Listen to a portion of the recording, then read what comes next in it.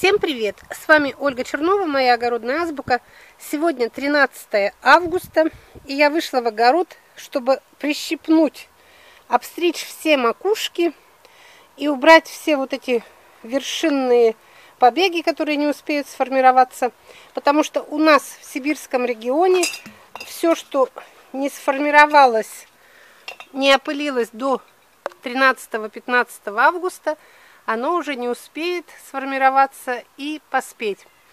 Но я хочу сказать, все знают, что мы верхушки прищипываем, все это всем известно, даже новичкам. Я хочу рассказать сейчас не об этом. Когда я прищипываю верхушки, я прочитала это уже давно, и как убедилась на своем опыте, что когда мы прищипываем вот эти макушечки, вот видите, я верхушку вот эту прищипнула, все.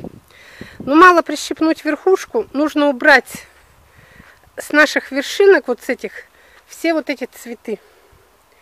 Цветы, которые до 13, до 15 августа не опылились и не завязались плоды, они у нас просто-напросто не успеют по времени, и они будут только зря вытягивать вот видите, цветочная кисть. Ее как бы не жалко было, ее тоже нужно убрать. Нужно отщипывать. Вот с сегодняшнего дня делать прищипку, выщипывать все цветы, которые будут появляться, возможно, еще где-то вот здесь, вот видите, даже еще пасынок вылезет молодой, расцветет. Их нужно все убирать, чтобы растение направило все-все свои силы именно на доведение до полной зрелости хотя бы тех плодов, которые уже сформированы. Мы оставляем вот сейчас только те, которые уже сформировались. Вот эти кисти идут, идут, идут. Еще вот здесь маленькие, вот на уровне глаз у меня это, наверное, уже пятая, вот эта вот кисть, она еще успеет сформироваться, потому что, видите, она уже все опылилась, сфор... Сфор... завязалась и наливается. И оставляем в крайнем случае вот эти, которые совсем маленькие, но которые уже есть помидорки. Вот эти все кисточки цветочные все убирайте. Иначе созревание нижних кистей, ну это естественно, оно будет тормозиться, потому что растение очень много силы отдает на цветение, на формирование. Вот видите, столько много на макушке вот этих вот молодых убирайте их все. Даже если вот здесь уже есть помидорка, а рядом цветок, я его тоже убираю. И эта помидорка вряд ли до такого взрослого состояния сформируется и созреет. Ну ладно, я ее оставляю хотя бы. Но все остальные цветы, которые вот сейчас, несмотря на то, что уже конец лета, они очень буйно все цветут, томаты. Видите, почти везде есть цветы. Все нужно убирать.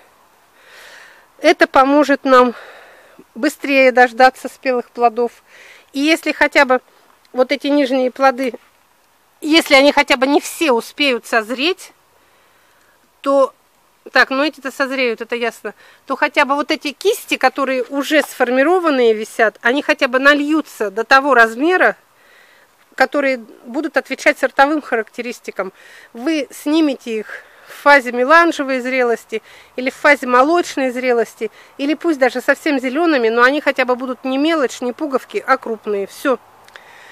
Вот у нас сибирский регион, у нас срок прищипок это 15 августа.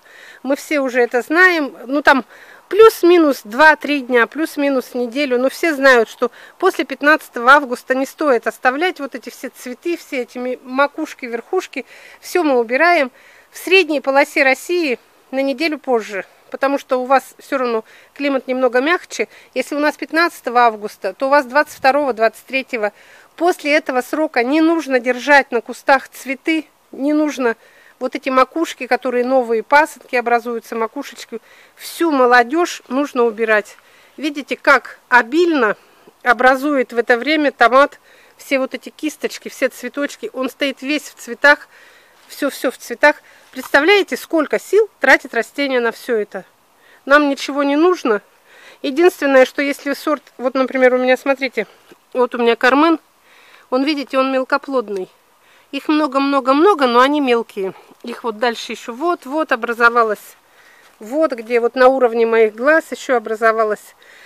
Вот такие томаты, которые совсем меленькие, еще можно, я допускаю, что можно макушку не общипывать, потому что им не надо наливаться много. Если вот, например, крупноплодный, до этого я была у Кенигсберга, стояла, ну и там такой, как бычий лоб, любимый праздник, общипываю однозначно. Если у вас вот такая мелочь, ну как с мелкими плодами, можно не общипывать, потому что вы понимаете, что для формирования вот этого плода ей не нужно месяц, как вот для крупных. Она сейчас раз завязалась, она через неделю уже будет полноценный плод. Так что вы по сортам посмотрите, если у вас есть и крупноплодные, и мелкоплодные, то на, на мелкоплодных можно все-таки оставлять и цветочки, и макушечки. А вдруг осень будет длинная и теплая. И нас вот такие томаты еще порадуют своими плодами. Видите, они как дружно формируют вот эти вот кисточки. И все выше, выше, выше. И вот такие и они, главное, до самого конца и еще цветут, могут еще дать нам что-то. Все, до свидания. С вами была Ольга Чернова. Это я поделилась с вами о том, в какие сроки мы прищипываем, какие нужно обязательно прищипывать, а какие можно и оставить. Вот такие кистевые всякие, гроздочками, которые мелкие.